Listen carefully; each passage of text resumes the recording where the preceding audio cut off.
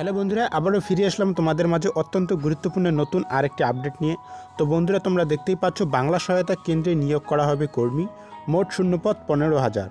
আবারও নতুন করে কর্মী নিয়োগ করা হবে। তো এই পোস্ট সম্পর্কে বিস্তারিত আমরা অবশ্যই আলোচনা করব। তার আগে ছোট্ট একটা রিকোয়েস্ট করব চ্যানেলে যারা নতুন ভিজিট করলে চ্যানেলটিকে অবশ্যই সাবস্ক্রাইব করে পাশে থাকা বেল আইকনটি অন করে রাখবে। জব রিলেটেড লেটেস্ট আপডেটগুলো এবং চাকরি সংক্রান্ত বিভিন্ন গুরুত্বপূর্ণ ক্লাসগুলো সবার আগে পাওয়ার জন্য। তো চলুন বন্ধুরা, আমরা দেখে নিচ্ছি বিজ্ঞপ্তিতে কি কি বিষয় উল্লেখ করা হয়েছে।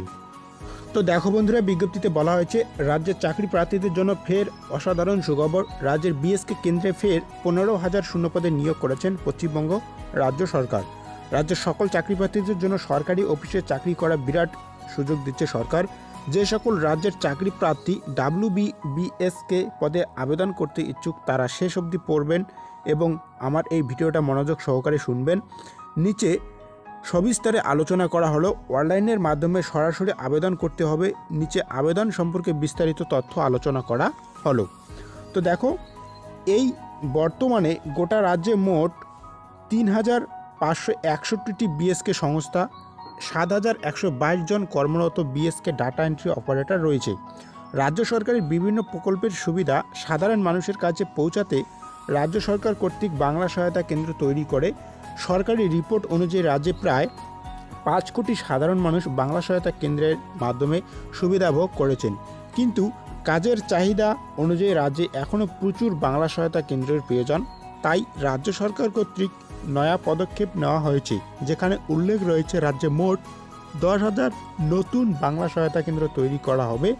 রাজ্য সরকার এবং বর্তমান সাধারণ থেকে আরও ছ হাজার চারশো উনচল্লিশটি নতুন সংস্থায় মোট পনেরো হাজারেরও বেশি বিএসকে ডাটা এন্ট্রি অপারেটর নিয়োগ করা হবে। তো বন্ধুরা, আমি ডেসক্রিপশনে লিঙ্ক দিয়ে রাখব, সেই লিঙ্কও ক্লিক করে তোমরা বাংলা সহায়তা কেন্দ্রের অফিসিয়াল হোম পেজটাকে ভিজিট করে আসতে পারো।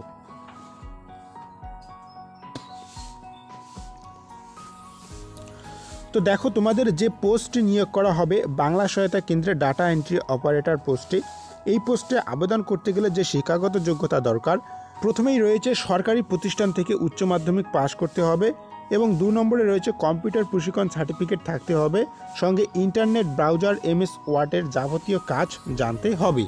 যেহেতু ডাটা এন্ট্রি অপারেটরের কাজ, সেক্ষেত্রে এই এমএস ওয়ার্ড সম্পর্কে তোমাদের সম্পূর্ণ ধারণা অবশ্যই লাগবে। বিএসকে ডাটা এন্ট্রি পদে আবেদনের জন্য কীরকম বয়স সীমা দরকার? দেখো বন্ধুরা, যে সকল চাকরি প্রার্থী বিএসকে ডাটা এন্ট্রি অপারেটর পদে আবেদন করবে। তাদের বয়স হবে আঠারো থেকে চল্লিশ বছরের মধ্যে।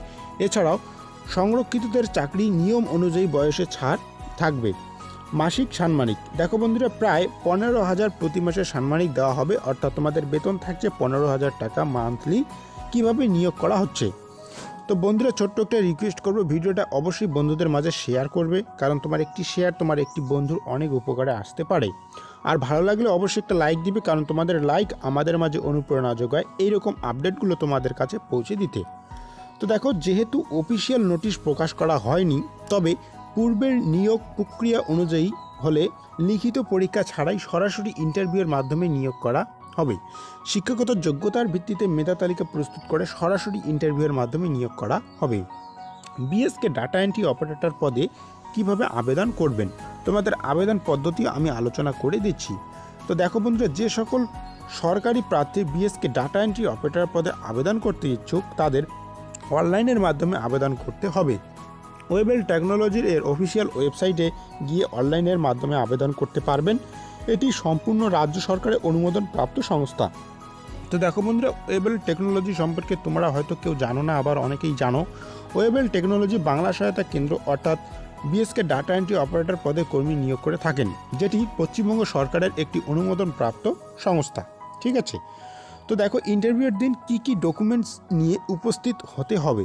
প্রথমেই রয়েছে মাধ্যমিক অ্যাডমিট বা বয়সের প্রমাণপত্র, দু নম্বর শিক্ষাগত যোগ্যতার সমস্ত ডকুমেন্টস তিন নম্বর কম্পিউটার সার্টিফিকেট চার নম্বর পরিচয়পত্র, আধার বা ভোটার কার্ড এবং পাঁচ নম্বরে রয়েছে পাসপোর্ট সাইজের ফটো এই পাঁচটি ডকুমেন্টস কিন্তু তোমাদের ইন্টারভিউয়ের দিন নিয়ে যেতে হবে। তো দেখো, উপরে উল্লেখিত সমস্ত ডকুমেন্টস এর অরিজিনাল সহ ফটোকপি নিয়ে আসতে হবে। তো আর একটি গুরুত্বপূর্ণ আপডেট তোমাদের দিয়ে রাখি। পাঞ্জাব ন্যাশনাল ব্যাংকে এ সরাসরি ট্রেনিং শিখিয়ে বড় মাপের লোন নেওয়া সম্ভব।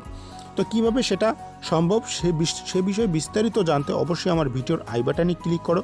সেখানে ভিডিওর বিস্তারিত লিঙ্ক দেওয়া রয়েছে, সেই লিঙ্কে ক্লিক করে তোমরা বিস্তারিত বিষয় অবশ্যই জানতে পারবে।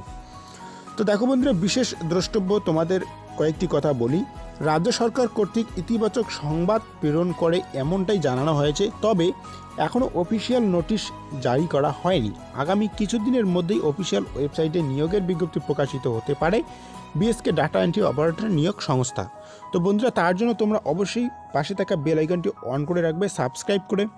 কারণ অফিসিয়াল বিজ্ঞপ্তি দেওয়ার সাথে সাথে আমি কিন্তু তোমাদের প্রথম আপডেটটি দিয়ে দেবো। তো আরও বিস্তারিত যদি জানতে চাও, আমার বিএসকে সম্পর্কে ভিডিওর প্লেলিস্ট করে দেওয়া রয়েছে। আগের নিয়োগ প্রক্রিয়া কেমন করে হয়েছিল কী রকম পরীক্ষা আসতে পারে ইন্টারভিউ কী কী কী প্রশ্ন থাকতে পারে ডাটা এন্ট্রি অপারেটর সম্পর্কে। তো সমস্ত বিষয় নিয়ে একটি ভিডিও প্লেলিস্ট করা রয়েছে। আমার চ্যানেলের ভিডিও প্লেলিস্টে গেলে তোমরা সেই প্লেলিস্টটি অবশ্যই দেখতে পারবে। তো থ্যাংক ইউ সো মাচ দেখা হচ্ছে পরবর্তী নতুন আরেকটি গুরুত্বপূর্ণ আপডেট নিয়ে। ধন্যবাদ।